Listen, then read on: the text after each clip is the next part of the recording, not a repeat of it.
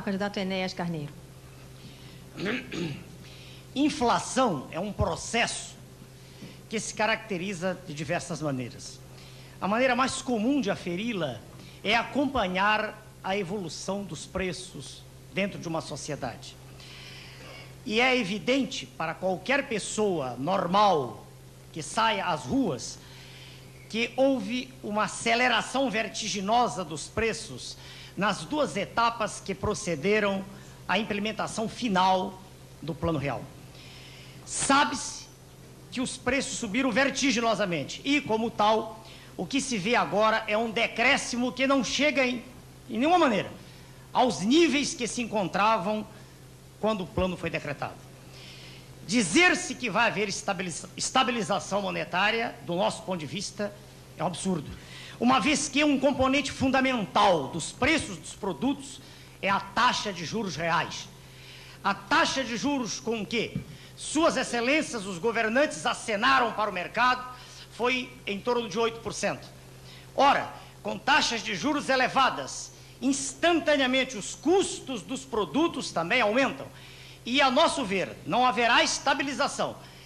Será um sonho imaginar-se que, trabalhando com esses níveis no mercado, que os empresários consigam manter acorrentados os seus preços. Claro que é primacial que se faça a reforma tributária, uma vez que também embutidos nos preços dos produtos estão os tributos, a carga tributária gigantesca que qualquer homem de empresa e que qualquer cidadão está pagando. A nosso ver, o plano real, lamentavelmente, não levará à estabilização econômica, para a tristeza nossa. Com a palavra agora, Enéas Carneiro. É interessante só fazer uma citação aqui para os senhores telespectadores e para a plateia. Na década de 80, o Brasil, que se comenta tanto não tem recursos, perdeu 100 bilhões de dólares pagando o serviço da chamada dívida interna. Uma centena de bilhões de dólares. É interessante a gente amarrar bem, deixar bem clara a questão. Hoje, bom, o maior problema não é a dívida externa. As taxas de juros no nível internacional são risíveis. Nos países de economias desenvolvidas, essas taxas oscilam em torno de 1, 2. E um país que tem taxas elevadíssimas, como a Grécia, está em torno de 6%. Então eu insisto na tese, porque ela é de importância primacial para a pessoa que não está habituada a pensar com esses números. É claro que nós precisamos de recursos externos também. É claro que não se pode fechar uma porta para o capital externo que venha aqui ajudar-nos a crescer. Mas também é certo e é absolutamente legítimo que está na hora de pararmos, de, que, de pensarmos que a nossa Terra tem que ser o maior cassino do planeta. Uma coisa é um capital que aqui venha para a produção, sob regras fixas e regras que sejam determinadas por um governo sério e voltado para a população. Outra coisa é permitirmos que a nação seja dessangrada, como vem sendo há décadas. Exatamente isso é a nossa posição. Com a palavra o candidato Enéas Carneiro. A crise educacional da nação brasileira não é diferente da crise que ocorre em todos os outros setores da atividade pública. Na verdade, o binômio professor-aluno desapareceu frente à gigantesca onda de desordem que assola o país. Na verdade, o cenário que está é estarrecedor. Normalmente nas escolas antigamente ditas do curso primário, hoje de primeiro grau, não se tem nem um pingo mais daquela noção clássica que caracterizava o aluno no passado. Não existe mais o respeito, não existe mais o aprendizado correto da língua pátria, destruíram-se valores cívicos, enfim, vive-se hoje numa época em que a escola é uma instituição de faz de conta. O nosso projeto, que será apresentado à nação a partir do dia 2 de agosto, pressupõe uma volta ao modelo tradicional. Uma escola primária em que existam livros padronizados, um livro só para cada disciplina básica, em que desapareça a orgia editorial que hoje faz bem aqueles que são detentores do poder, mas não as famílias, nem as, as crianças, nem os professores. Enfim, criarmos uma escola onde será restaurada aquela coisa que fazia com que cada um de nós tivesse orgulho no passado de ser um estudante de curso primário. É dentro desse modelo que nós acreditamos conseguiremos construir uma nova sociedade.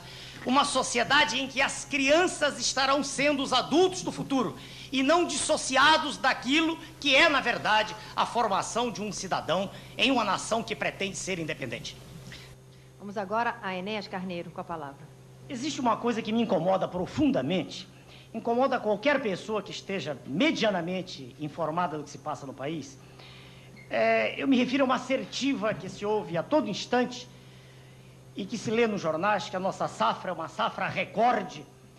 É, em torno de 76 milhões de grãos. É curioso que em 1988 nós já tivemos 70 milhões de grãos. Então eu quero crer que é um aumento irrisório quando se olha para uma trajetória de seis anos. Um ponto vital também aqui, que também tem importância visceral a ser examinado, é que não é só a produção que é importante, não é só o PIB.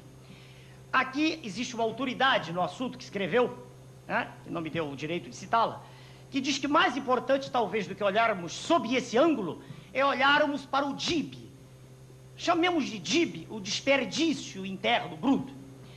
É interessante lembrarmos que cerca de 20% dos grãos e 30% das hortaliças perdem-se no trajeto entre a porteira da fazenda e a mesa do consumidor. Esse é um problema para o qual há que ter o máximo de atenção. Na outra ponta da análise que deve ser feita está a questão da terra. É preciso separar dois tipos de cidadãos: aqueles extremamente bem qualificados que querem participar do mercado exportador da nossa agricultura. Esses devem ter um tratamento diferenciado. E aqui poderá, a questão poderá ser discutida até em termos de arrendamento. O dono da terra não perde a terra, não há necessidade de tomar terra de ninguém. Há terras demais no Brasil.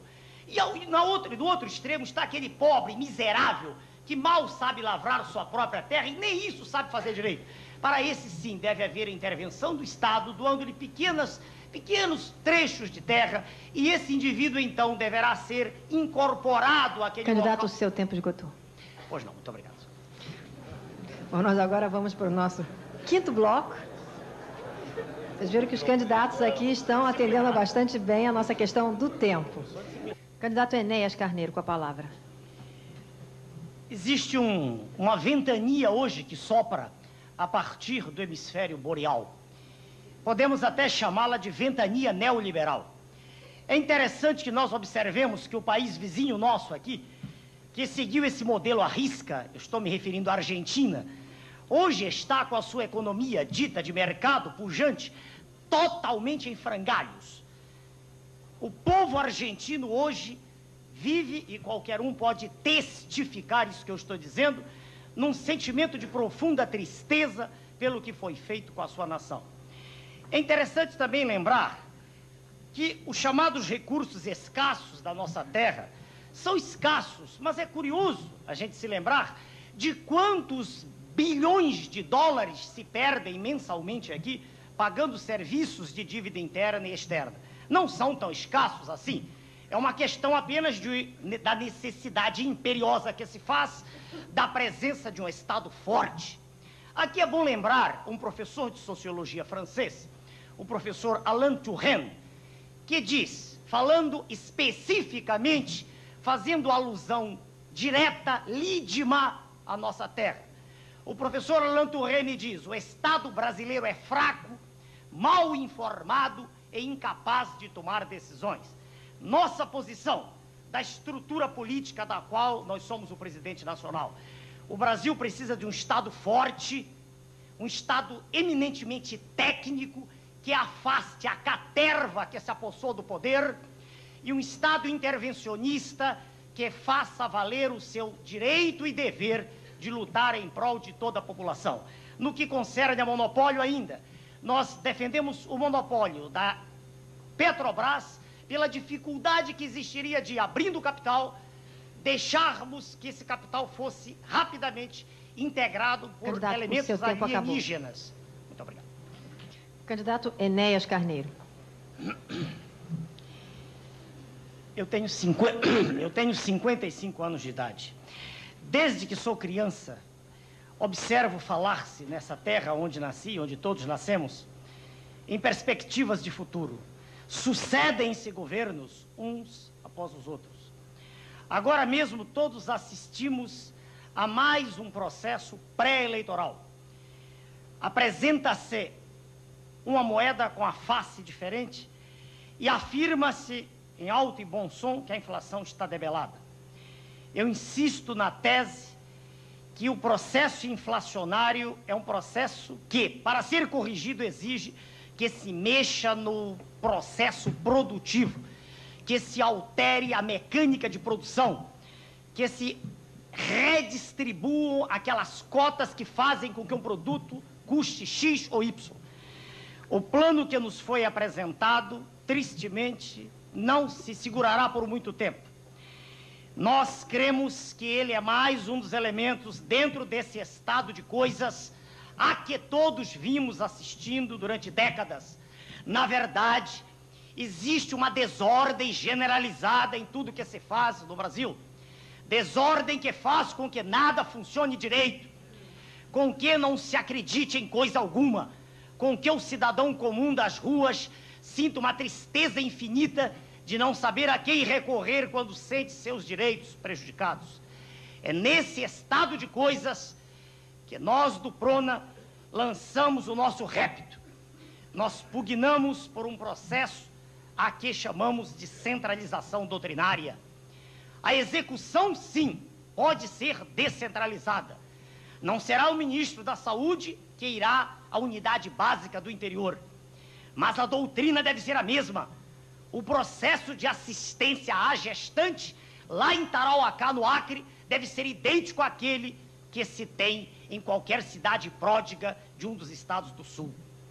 É nesse estado de coisas que nós acreditamos seja possível criar-se agora um Estado forte, técnico e intervencionista, que possa radicalmente lutar contra a desnacionalização progressiva das nossas jazidas, mandando para o exterior o nosso produto mineral do nosso subsolo riquíssimo, que é o mais rico do planeta, como se fosse a preço de banana.